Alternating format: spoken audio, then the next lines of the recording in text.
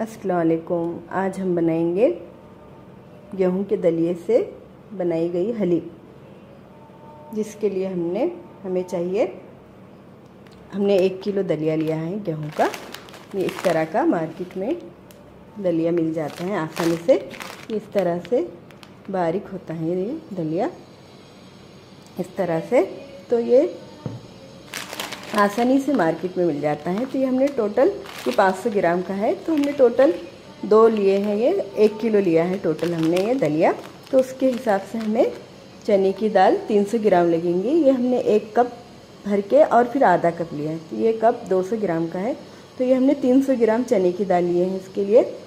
तो एक किलो के हिसाब से हम 300 300 ग्राम चने की दाल डाल रहे हैं। और सौ ग्राम मसूर की दाल लगेगी हमें और सौ ग्राम हमने मूंग की दाल लिया है। तो ये हम पहले दाल को अलग भिगोकर इसे अलग से गलाएँगे और ये दलिए को हम चार से पाँच घंटे भिगोकर रखेंगे। और अगर बहनों, अगर आपके पास मार्केट में या आपके वहाँ ये दलिया नहीं है या नहीं मिलता तो आप गेहूँ, आप सुबह में रात भर भिगा, गेहूँ अगर आपके पास है तो आप रात भर गेहूँ भिगा कर उसे सुबह में उसका पानी निथार कर उसे हवा, थोड़ा हवा में सुखा लेना, फिर उसके बाद उसे मिक्सी में रफली पिस लेना, फिर उसके बाद उसे और थोड़ा सुखा के इसको सूप से पछोड़ के इसके ऊपर के जो छिलके होते हैं वो निकाल लेना। फिर उसे और दो तीन घंटे भिगा के आप कुकर में गला सकते हैं उसे। गेहूँ ज़रा देर से गलते हैं तो इसलिए इसे कुकर में गलाएँ। और हम इसे किस तरह गलाना है इसका तरीका हम आपको बाद में बताते हैं। पहले, सबसे पहले हम इसे भिगा देंगे। फिर हमें मसाले क्या क्या लगेंगे, हम और फिर बताएँगे आपको। जो हमने हलीम के गेहूँ जो भिगाए थे, ये दलिया तो ये से हमने छः छः घंटे से इसे भिगा के रखा था। तो ये अच्छी तरह हमारा ये दलिया भिग चुका है। अब इसे हम एक बगोने में पानी गरम को रखा है, हमने गरम को रखा है इसे 10-15 मिनट से इसमें हम ये डाल देंगे। ये भगोने में हमने पानी का धन रखा था, उसमें हम ये डाल देंगे। इस तरह से ये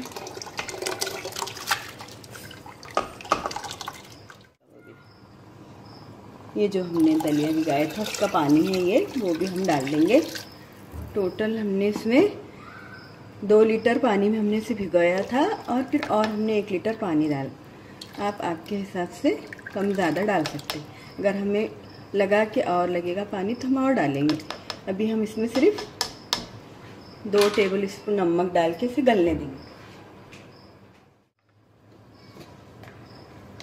इसमें हम ये एक से दो टेबल स्पून नमक डाल रहे हैं, फिर बाद में हम और डालेंगे चक्कर।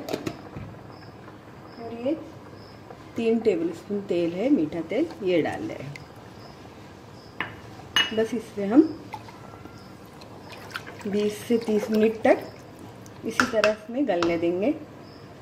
और फिर अब जो दालें हमने भिगाए थे ढक्कन ढककर हम 20 मिनट गलने देंगे। ये जो दाल हमने मसूर की, चने की और मूंग की दाल जो भिगाई थी, वो भी चार पाँच घंटे से भीग रही है। अच्छी गल, अच्छे से गल चुके हैं। अब हमें इससे दो से या तीन सीटी लेकर कुकर में हम इसे भी गला देंगे। बाकी के मसाले हम फिर आपको बाद में बता दें ये हमारा हलीम 20 से 25 मिनट से इसे हमने गलने दिया है। कम, हमने 10 मिनट फुल गैस पे गलने दिया था, फिर उसके बाद हमने आँच को स्लो कर दिया था। तो ये अच्छी तरह से ये हमारा दलिया अच्छे से गल चुका है। अब इसे हम और तीन चार मिनट गलने देंगे इसके बाद हम गैस बुझा देंगे। और इसमें से हम बिल्कुल दो दो से तीन कप मिक्सर में डाल के इसे पीस देंगे। बाकी का हम ऐसे ही मोटा मोटा रहने देंगे। सिर्फ़ मामूली बस दो से तीन कप हम इसे, इसमें से थोड़ा सा आटा पाव निकाल कर हम इसमें से पीसेंगे मिक्सी में। और बाकी का वैसे ही रहने देंगे क्योंकि ये अच्छे से गल चुका है। तो चलिए फिर हम गैस को बंद कर देंगे। ये अभी अच्छे से गल चुका है हमारा। गैस हम बंद कर देंगे। हमने दाल को भी ब्लेंड कर दिया है, पीस लिया है इसको। गलने के बाद हमने इसे चार से पाँच सीटी होने दिया था 20 से 25 मिनट तक हमने इसे गलने दिया था। और ये एक प्याली दलिया जो था, उसमें से हमने सिर्फ़ एक प्याली ही पिसा है।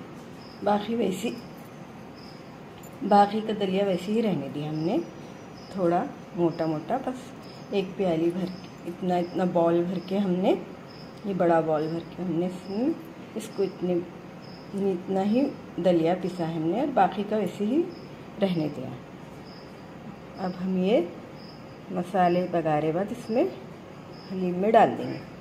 ये दाल को भी, इसलिए हमने आप चाहे तो मिक्सर में भी पीस सकते या हैंड ब्लेंडर भी कर सकते ये हमने मटन लिया था, डेढ़ किलो मटन है ये। इसमें हमने हल्दी, नमक और अदरक, लहसुन डाल के पाँच से छः सीटी होने तक इसे गलने दिया। इसे टोटल हमने आधा घंटा गलने दिया। बीस मिनट हमने फुल गैस पे और दस मिनट हमने स्लो आँच पे गलने दिया। तो ये हमारा मटन गल गया है। अब हमें मसाले लगेंगे। तो हम इसके लिए हमें चाहिए, पिसने के लिए हमें ये मसाले लगेंगे, जो काला मसाला है, जो हमने पाए के सालन में और मांडे के सालन में भी डाला था। ये धनिए का फूल दो दो दो आधी प्याली समझे धनिए का फूल लिया है हमने, और दस छः सात तेज़ पत्ते और दस से बारह के सर जिसे कबाब चीनी भी कहते हैं, ये लिया है, और ये बादिया, तीन तीन फूल चक्री हमने बादिए के लिए हैं, और चार चार बड़े इलायची लिया है। और इन सब मसालों को हम तवे पे भून लेंगे, जैसा हमने पाए के सालन के मसाले को भुना था। और गरम मसाले को भी हमने भून लेंगे। इसे हमें अलग से पिसना है। ये हमने एक टेब टी स्पून शाजीरा, दस बारह काली मिर्ची और दो, चार इलायची और दो दो से तीन, चार लौंग और चार पाँच दालचीनी के टुकड़े लिए हैं। इसे भी हम भून के इसको भी बारीक मिक्सी में पिस लेंगे। और ये खोपरा हमने पाँच टेबल स्पून खोपरा लिया है। टोटल ये सौ ग्राम खोपरा है। और ये प्याज हमने चार तीन चार प्याज लिया था हमने इसे पतले स्लाइस में काटे हैं, जो हमें गार्निशिंग के लिए हलीम में लगेगी। तो इसे हम तल के, इसे गोल्डन ब्राउन होने तक इसे तल लेंगे। और कोतमीर हमने ये हरा धनिया एक टेबल स्पून लिया है दो से तीन हरी मिर्ची, ये भी हम मसाले में पिसने में ले लेंगे। और ये प्याज हमने एक बड़ी प्याज लिया था, इसे रफली मोटा मोटा चॉप कर दिया था हमने। इसे भी हम तवे पे भूनकर ये सब एक साथ पिस लेंगे हम। हरा धनिया कोतमीर और खोपरा और गरम मसाला खाली बाद में पीसेंगे। और हमने हल्दी में डालने के लिए हमने तीन टेबल स्पून धनिया की बुकनी लगेगी। एक टीस्पून हमने धनिया हल्दी हल्दी पाउडर लिया हमने। एक टीस्पून हल्दी पाउडर।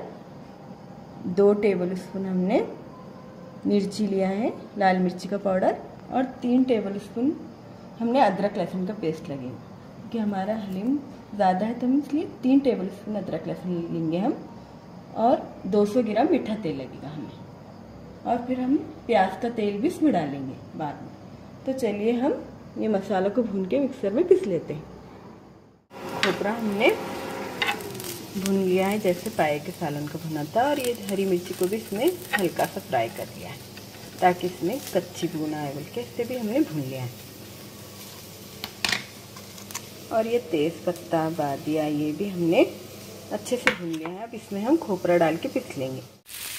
ये प्याज को भी हमने एक तरफ़ दूसरे तवे पे थोड़ा बिल्कुल पावर टी स्पून तेल डालकर इसे भी हम हल्का सा ब्राउन होने तक भून लेंगे। इसे भी हम खोपरे और तेज़ पत्ते के इलायची के काले मसाले के साथ इसे भी पिस लेंगे।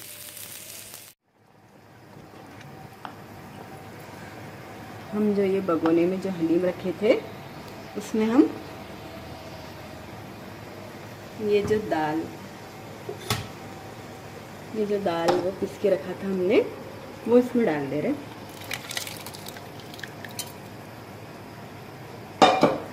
इसे अच्छी तरह से हिला देंगे।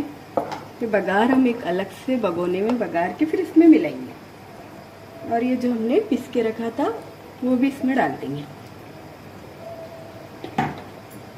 फिर दूसरे एक अलग से भगोने में हम मसाला वो सब बगार के फिर इसमें मिक्स कर डालेंगे। जैसे हम एक तरफ़ पकने देंगे और अब इधर हम बगा भगोने में बगारेंगे सबसे पहले हम ये जो तेल रखा था हमने 200 ग्राम वो डाल देंगे। ये अलग से हमने छोटा भगोना लिया है बगार को और वो हमारा दलिया दूसरे भगोने में है, गलावा।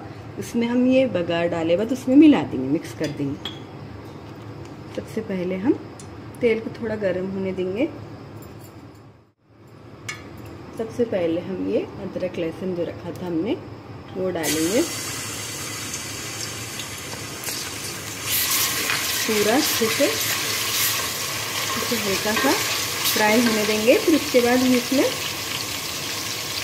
ये धनिया की चटनी जो रखी थी, वो भी डाल देंगे। फिर ये लाल मिर्ची पाउडर जो रखा था हमने, वो भी डाल देंगे। फिर इसे थोड़ा भूनेंगे दो तीन मिनट। फिर ये हल्दी पाउडर। इसके बाद हम ये मसाला डाल देंगे हमने पीस दिया था हमने बारीक, इसको से बहुत ज़्यादा बारीक नहीं भी पिसे तो चलता, क्योंकि हमारा हलीम थोड़ा मोटा मोटा ही रहता है। हलीम में या कोई भी चीज़ में आप खिचड़े में या कोई भी चीज़ में अगर आप डाल रहे हैं तो मसाला मोटा भी रहा तो चलता फिर हमें सालन के लिए ही मसाला बारीक चाहिए। बाकी हलीम में मोटा भी रहा तो चलता मसाला। इसे दो तीन मिनट तक अच्छे से फ्राई होने देंगे, भूनेंगे हम इसे। इसके बाद इसमें हम मटन डाल देंगे। इसे हमने दो तीन मिनट पकने दिया। अब इसमें हम ये मटन जो रखा था, वो डाल देंगे। इसे और चार पाँच मिनट पकने देंगे, फिर उसमें हम हमारे दलिए में फिर डाल देंगे।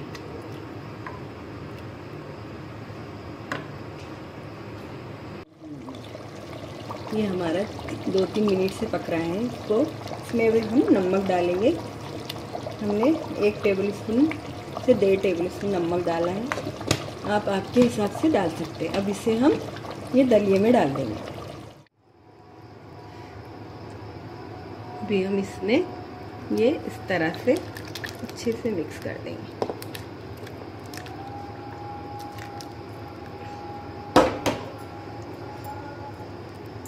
इसे अच्छे से मिक्स करके इसे हम 10 मिनट 8-10 मिनट और पकने देंगे। ढक्कन ढक के इसे अच्छे से पकने देंगे। ये चार पाँच चार पाँच मिनट से हमारा ये हलीम पक रहा है। अब इसमें हम आखिर में ये गरम मसाला जो हमने भूनकर बारीक पीस लिया था, ये सबसे आखिर में से इस तरह से डाल लेंगे। और हरी मिर्ची डाल देंगे और ये छः सात हरी मिर्चियों को हमने बीच में से कट्स लगा दिए थे, ये भी इसमें डाल देंगे। और बस अब इसमें हम, बस इसे हम चार पाँच मिनट और पकने देंगे। इसके बाद ये हमारा हलीम तैयार हो जाएगा। इसे हम एक सर्विंग बॉल में निकाल लेंगे। ये हमारा हलीम तैयार हो चुका है। इससे हम ये जो प्याज तल के रखे थे फ्राई करे थे हमने के तेल से और प्याज के स्लाइस से और कोतमीर हरे धनिए से इसकी गार्निशिंग करेंगे।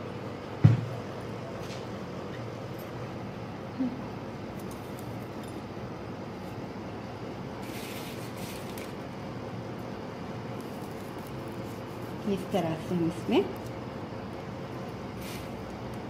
प्याज डालेंगे।